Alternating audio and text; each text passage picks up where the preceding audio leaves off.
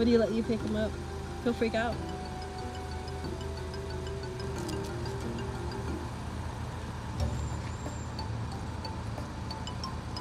Ugh. Oh, and he's pissing. Ah! Yeah, and he's pissing.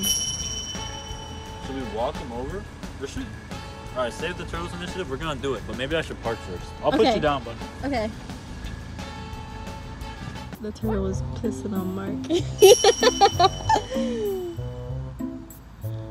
you shouldn't have held him like that. He's probably gonna edit this out.